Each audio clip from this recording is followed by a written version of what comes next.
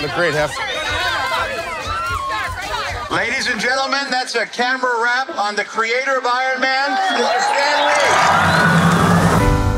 Hi, I'm Stan Lee, editor of the Marvel Comics Group of superhero comic magazines. We didn't have any money.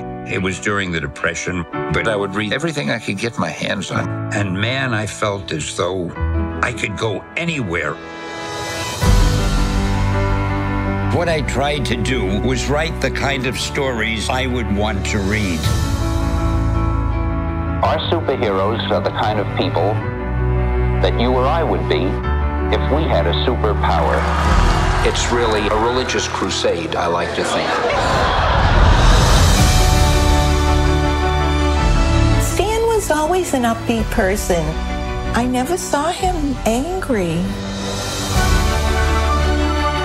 There are so many bad things in the world that if you can entertain somebody for a while, it's a good thing.